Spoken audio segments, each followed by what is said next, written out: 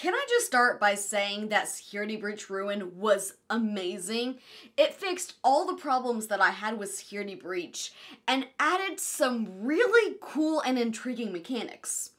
The latter, which is kind of why we're here today. My goal for this video is to fill in the blanks on the events leading up to Ruin. Things are very different from how we left them in Security Breach. So what happened exactly? Who is the Mimic and how did it get there? Who set up the V.A.N.N.I. network and how does it work? What is MXES and who created it? There's a lot to address here, so let's just dive right in. First off, I have to address the big topic of debate in the FNAFy community. And yes, I did just coin the term FNAFy. Um, I used it jokingly the other day, and my husband said that I needed to start using it unironically. So um, if you're into FNAF, you're now a FNAFy. I don't make the rules, except for this instance, I guess I do. Anyway, one of the most divisive words that a FNAFy can utter right now is books. Specifically, Tales from the Pizzaplex. With the Silver Eyes trilogy, Scott made very clear that it was canon, but in a different continuity. And he made the same thing clear about Fazbear Frights. That didn't mean that we couldn't use stuff from the books to figure out the lore, we were encouraged to do so but it was parallels instead of an exact retelling of the events in the game timeline. So the problem comes with Tales of the Pizzaplex, which lines up a lot more with Security Breach than any of the books have previously. It's even what made us aware of the Mimic and where it was located. So, it's got to be one to one, right? I'm gonna level with you. I tried so hard to justify this. Things would be so much more simple if we could take the books at face value and know that the backstory for the Mimic outlined there is the same as the games because they're one and the same. But I couldn't make it work. Yes, there are different attractions in the short stories than we see at the Pizzaplex in the games. And even though that would mean a lot of changes within the five years the Pizzaplex has been opened, I could excuse that. The real problem comes with the stories that actually give us the details about the mimic, the mimic, and the storyteller, which kind of seems intentional to me. Like, this is where they knew we were going to look after they introduced the mimic and ruin. And it's also where the books can't line up with the games. We're told in the books that Edwin graduated from college in the early 70s and pretty much immediately got married and started his business. He's then shown to be 24 when his wife is pregnant. The mimic story takes place when his son is about 4 or 5, and then in the storyteller, he's 64. So, breaking this down, the last year of the early 70s is obviously 1974, and most people graduate from college around 22. But I want to make this work, so let's be generous and say that Edwin was super smart and graduated early, or maybe only got a two year degree. So let's say he was 20 in 1974. So this means Fiona would have been pregnant in 1978. And again, being generous with time, the Mimic would take place in 1983.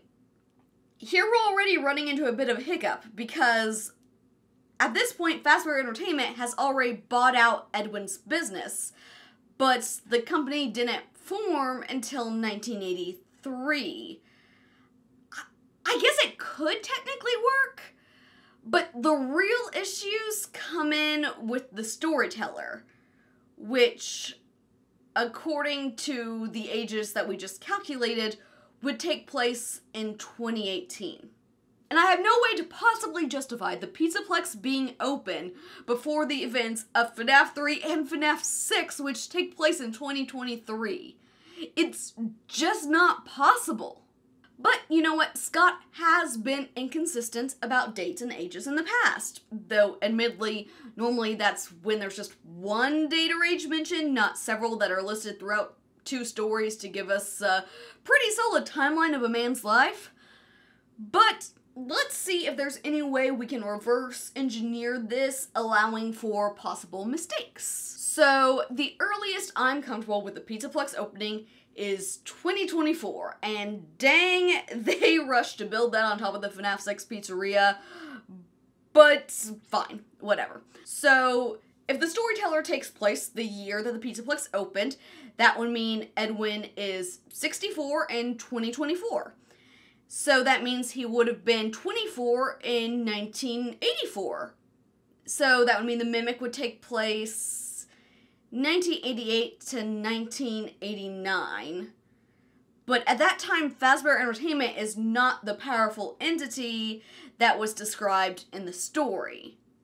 So maybe this is one of those mistakes. Maybe Scott did an oopsie, and Edwin was actually supposed to be 24 at the time of the Mimic. That would put the Mimic taking place in 1984, which actually works really well. Okay, so then that would mean when Edwin graduated in 1974, he would have been 14. No, no, that that doesn't work. You see the problem. In order to make these stories work with the game timeline, we have to assume multiple mistakes. And I'm just not comfortable doing that without some kind of inconsistency to make me think that it's wrong. Like I said, it almost seems intentional that it's in these two stories specifically that it doesn't line up with the games. Almost as if it's there to tell us it is in a different continuity. And I know I'll see this in the comments, so I'm going to go ahead and address it. I know Scholastic said in the synopsis of Tales from the Pizzaplex that Tales is set in the world of the games. But Scott has used similar language when he said the books are in the same universe, the same world, just different continuities. It's not really any different than what has been said in the past. So, is there a chance that Scott and Steel Wool will throw out the dates and decide to make it all in the same timeline? Yes. But until that happens, I'm going to operate under the belief that they are parallels. So, could Edwin still have made the mimic in the games? Yes, of course. But it bugs me from a storytelling perspective we suddenly have a new antagonist with no connection to anything or anyone that came before, and his creator is some inventor that's now dead? It's just not very compelling. Anytime we've had some strange new antagonist, Circus Baby, Ennard, Glitchtrap, Vanny, they've all been connected in some way to what came before. Am I saying that I want William back for the hundredth time? Not really but I want some kind of connection, a reason to care about the new villain. So I know it's controversial, but Edwin being a parallel for Henry is very compelling. They're brilliant inventors with a gift for animatronics, single fathers with young children who die tragically. And in the games, we don't see how Henry responds to that grief, but it's pretty evident that he stepped away from the company just like Edwin did. Now, I'm not saying that I think Henry pulled a fourth closet and the Mimic is really a Charlie bot who was stolen by Afton and became Circus Baby slash Elizabeth. FNAF does make some very compelling arguments for that, but I just don't see any real evidence that Henry built the Charlie bots in the game timeline. And also, now that we've seen the Mimic, I just don't see it being Circus Baby in any form. But, just like Edwin, Henry could have easily designed an animatronic to watch over Charlie. No, no, that's just crazy. That, but we do have evidence in the games that Henry wanted an animatronic to protect Charlie. What if, what if the Mimic was a test run of that? A rough draft, so to speak. And then Henry went on to design the security puppet to watch out for Charlie at the pizzeria, while he kept the mimic around to entertain her at home. Okay, a theory is starting to take shape. So Henry was developing an AI that could learn the patterns around it with the goal of protecting his daughter when he couldn't be there. His first run of it was a little rudimentary, made of scraps, but he was on the right track. He could see that it was learning from his daughter. So he goes on to make the security puppets, with the same mimic programming to guard Charlie at the pizzeria, while she continued to play with the mimic at home. We know how Charlie's story ended, and then Henry went away for a while. but not before infusing the mimic with his agony. When Henry returns, he intends to put all the spirits to rest. So he constructs a Freddy Fazbear's pizza place near his workshop where the mimic was left. A location that, like Edwin's workshop, has double doors that lock behind you. Doors labeled Charlie Door. After Henry's plan is complete and he's dead, Fazbear Entertainment comes to inspect the property where they find the mimic. Like in the epilogues, they decide to put it to use, clearing out the old pizzeria, while they build on top of it. I'm guessing they also found some old circuit boards, and since Henry was such a genius, they immediately sent them over to the development team for their VR game to scan them for pathfinding. But then the Endo started killing people, and they realized they might have made a mistake. So they sealed it away in the old pizzeria and took the circuit boards back from the development team. The drawers have been emptied out. Someone was here. Who? I don't think it was spring cleaning either. No. No. There was plastic on the floor. Someone was definitely here during the night. It had to have been the client. I mean, they sent us that stuff in the first place with no explanation, told us to scan it, said it would expedite the process so we wouldn't need to program any pathfinding ourselves. Oh. It was a budget thing, I guess. Oh, yeah, budget it was thing. just junk. Circuit boards and things like that. Yeah, okay. Look pretty old. Somehow, though, there was usable code on some of them. yeah. It seemed to take hold by itself. Oh, that's normal. Things started changing. Uh huh. But then, he started appearing. At least that's what Jeremy said. But it was too late. The Mimic programming was scanned in, it got a rundown of Afton's greatest hits, and it became Glitchtrap. With that, let's move on to the origin of Vanny. No, not Vanny, V.A.N.N.I., the virtual augmented neural network integration units. To me, this seems like something that was created by Vanny and probably Gregory when they were under the control of Glitchtrap. It's morphing the user's reality, and I think we see the end goal of it in the Brazil ending to put you in a fantasy world while it gains control of your body.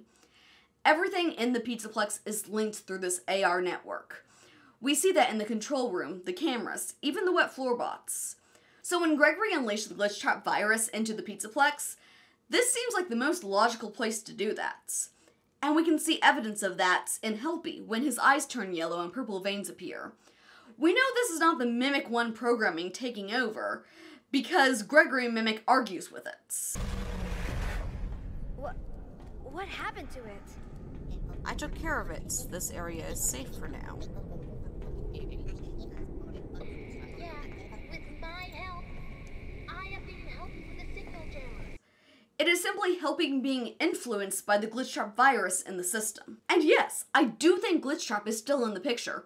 While it's very obvious that Princess Quest is the canon ending of Security Breach, there's a Sword in the Machine, Headless Freddy and Fazer Blast, the ending paralleled in the Brazil ending, and it's the only ending that doesn't have a comic. The third Princess Quest game doesn't end in us defeating Glitchtrap.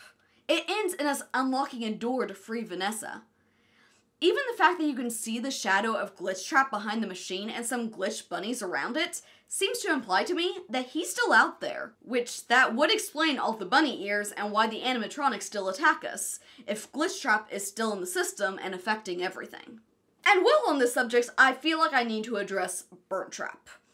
Even though Princess Quest is the only canon ending of Security Breach, I think all the endings had the potential to be canon. And what I mean by that is if Gregory had gone down to the loading dock, he would have found a van. If he'd pressed the button instead of playing Princess Quest, he could have disassembled Vanny. And if he'd gone down beneath the Pizzaplex, he would have found Burntrap.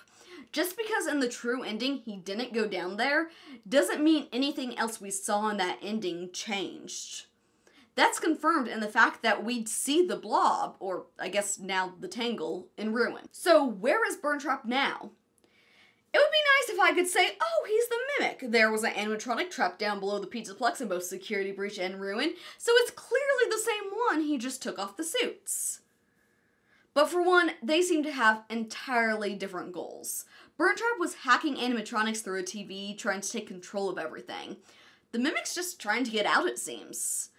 And when you look at their models, they aren't even remotely similar. Sire Squawks did an excellent video comparing the models in depth, which I'll link in the description. I'd like for them to be the same. It'd been my theory before Ruin came out, but I just don't see it. I don't think Burntrap is Afton returned though. I've been saying this since Security Breach came out. He's just Afton's remains possessed by Glitchtrap. That's why his eyes are purple and why he can attack Freddy by just touching a screen. Afton is being tortured in Ultimate Custom Night, and Glitchtrap is just piloting his corpse. So after the events of Security Breach, Glitchtrap would know that he had just lost both of his servants. It'd be reasonable to think that they might come back to dispose of him, so he needs to get out. We saw in Security Breach that he has some kind of influence over the Tangle, so he got it to dig a way out and then escaped. What happened here? It looks like the whole place fell in. Something tunneled out, broke everything. Now I'm stuck here. This also explains why Fazbear Entertainment didn't have a chance to repair any of the animatronics or get Freddy out of Fazer Blast, because they had to shut down due to earthquake immediately.